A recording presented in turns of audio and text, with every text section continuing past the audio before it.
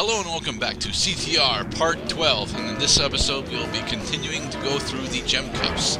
We are in the Blue Gem Cup right now as we are at Sewer Speedway, which is one of my favorite courses in CTR, but I've already mentioned that multiple times. It's an awesome course. It is an awesome course. Um, uh, well, during one of our many uh, recording recording rigs, I showed you the uh, the speed run record for uh, for Sewer Speedway. Right? You sure did, and that guy was damn consistent. Yes, he was. Cause in, And cause ah! damn it, I tried to block it with a nitro crate and it didn't happen. it's so freaky when you can see the rocket. Ouch. Coco go flat. Yes. Alright, so since we're mostly doing repeats, anything specifically that you would like to discuss, Mr. Cloud? I I didn't bring up the last time we did this that this level takes influence from the Eel Deal level from Crash Bandicoot 2. Yes, it does. It uses it uses the sewer trope, the same trope that's used for the Eel Deal, Sewer Later, and Hanging It. I'm sorry, Hanging Out. Yeah. I do love those levels. I love the music they play those levels. Unfortunately, they don't really, they don't really re, they don't really take much influence from Crash 2 in order to set the music for this stage. I noticed. Excellent. Yay, it actually worked. Uh, yeah, uh, um, a lot of the uh, C- a lot of the CTR tracks are more are more or less from Crash One and Three as opposed to Crash Two. There's a couple from. I mean, Hmm. I mean, uh, you can tell uh, that one the tempo picks up on the the Sewer Speedway track specifically. It actually sounds significantly more tribal than it probably uh, wants to. Yeah, it's, it uses the, it uses the xylophone. I noticed xylophone is very. uh... Xylophone is very prevalent throughout a lot of uh, CTR's tracks, though. Yeah. Oh no! I didn't want to hit my own nitro. crate, Coco, so fall down. Coco, Don't worry, we're still a full two seconds ahead. Coco, get back up and almost got crushed.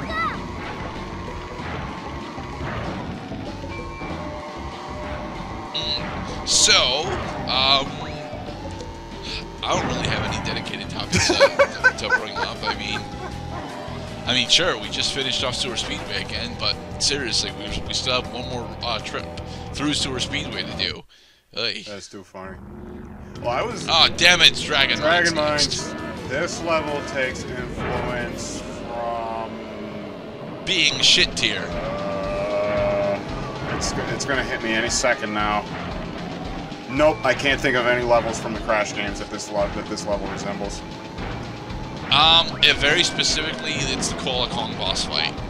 Oh, you're right. Yeah, of course, because that's a mine.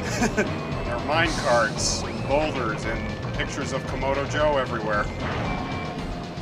Yeah, because as everyone knows, Komodo Joe and Koala Kong are you know cousins from a from a distant relation.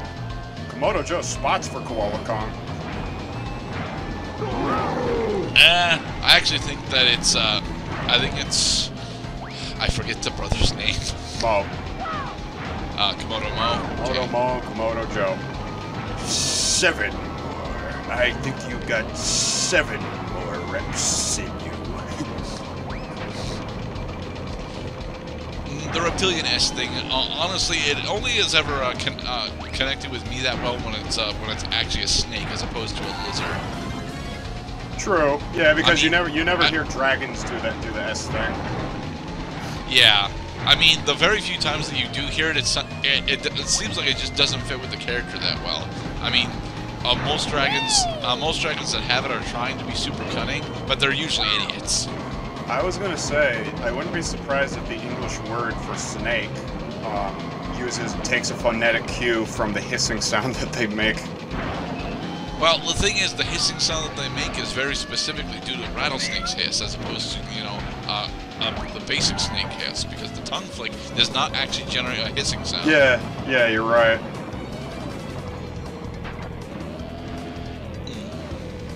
So what what's new in the world of Gerdat?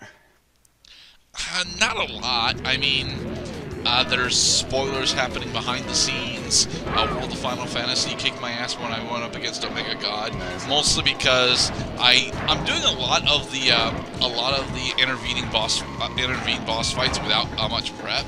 I mean, I'm reading I'm reading the, the quest text, and that's how I was able to get Bismarck down. But yeah, Bismarck was actually cake compared to uh, most of the other ones. The thing is, World of Final Fantasy keeps doing this really stupid thing where if when you when you Libra an enemy, they usually give you you know all, all the, the information that you need, like uh, weaknesses, uh, uh, uh, ailment uh, ailment resistances, and uh, HP totals, as well as if they're a normal enemy, how how to actually form the prisma the prismarium grid on them. But on several bosses, uh, specifically Bahamut, uh, Ultima Weapon, and uh, Omega God, they don't give me the HP totals that I need. And it's like, why do you do that? That is not fair.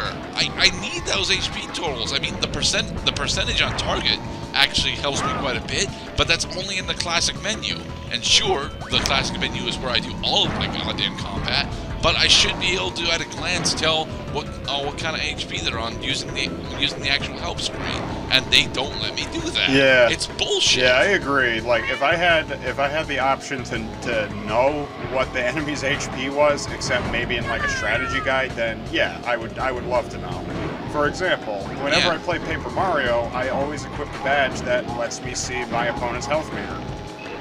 Yeah, it's it's mo- it's usually a wasted badge slot in Paper Mario, but it's such a good, it's such a nice and convenient thing to have that you don't really mind losing that slot. Yeah, and well, it's not it's not only it not only gives you peace of mind, but it also makes it so that you don't have to waste a move tattling on the enemy just so you can get their health bar.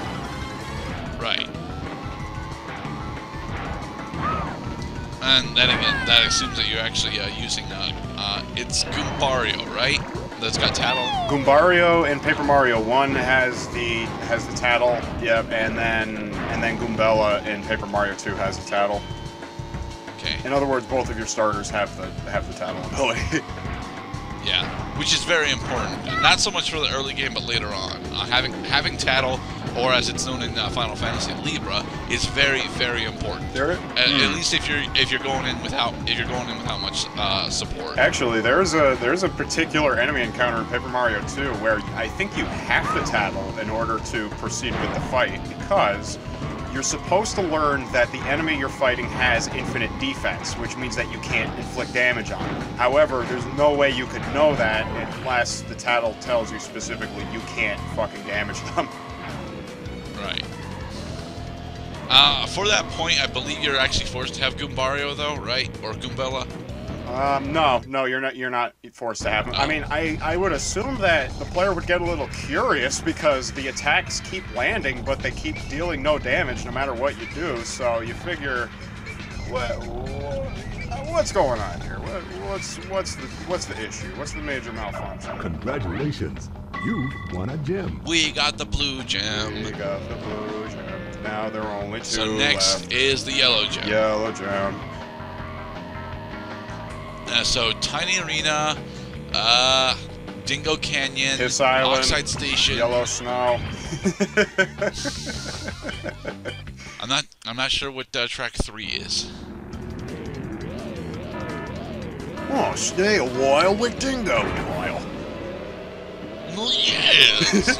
I can't. I can't do Australian at like at all. You, you could put you could put a little Bobby on it.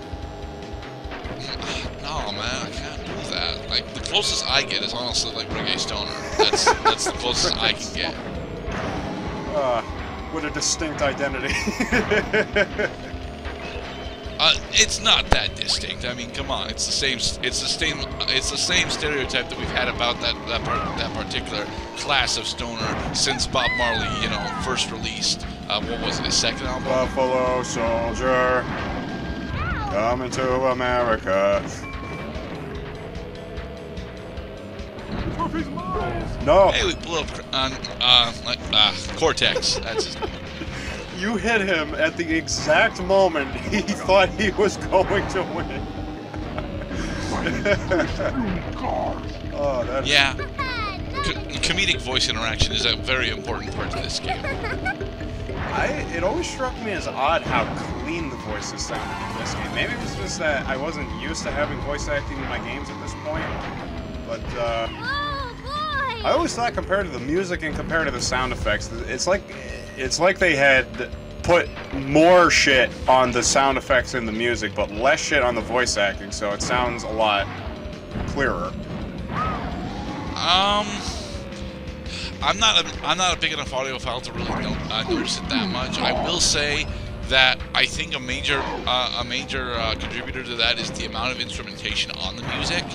But again, I'm an idiot, so I'm, I'm not entirely sure. Right, Coco. Get your nine points. Yes. So is next Tiny Arena? I'm pretty sure next is Tiny Arena. Well, did they do it? Yep, uh, Tiny Tiny Arena. called it. So the last two are Hot Air Skyway and Oxide Station. I remembered it finally.